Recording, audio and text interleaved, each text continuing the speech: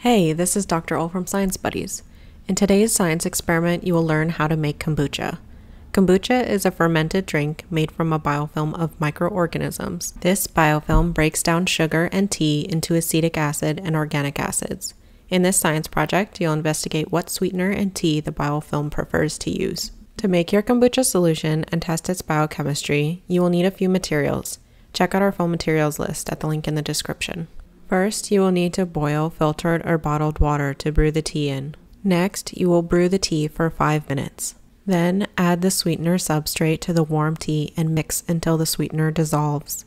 Then, mix additional filtered or bottled water with the warm, sweetened tea together in a large jar. Once the diluted tea is at room temperature, add the SCOBY biofilm and starter culture to the jar. Now that you've made your kombucha solution, you can measure the pH or acidity of the starting solution with pH paper. You can also measure the temperature of the solution. Interestingly, you can measure the sugar content or density of the solution using a refractometer.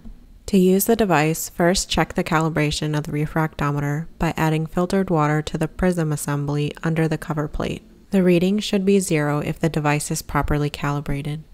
To test your solution, obtain a small sample from your jar. Flip up the cover plate to expose the top of the prism assembly and pipette a few drops of solution onto it.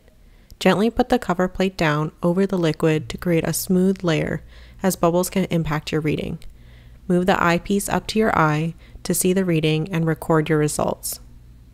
After you're done with your readings, make sure to cover the solution to prevent contamination from flies or pets.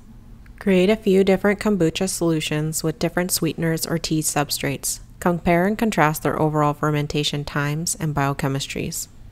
Fermentation takes time, so make sure to take readings consistently over four weeks to see how the biofilm facilitates biochemical changes to the kombucha solution.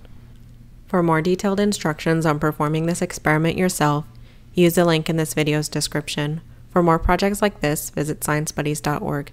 Thank you for watching and see you next time.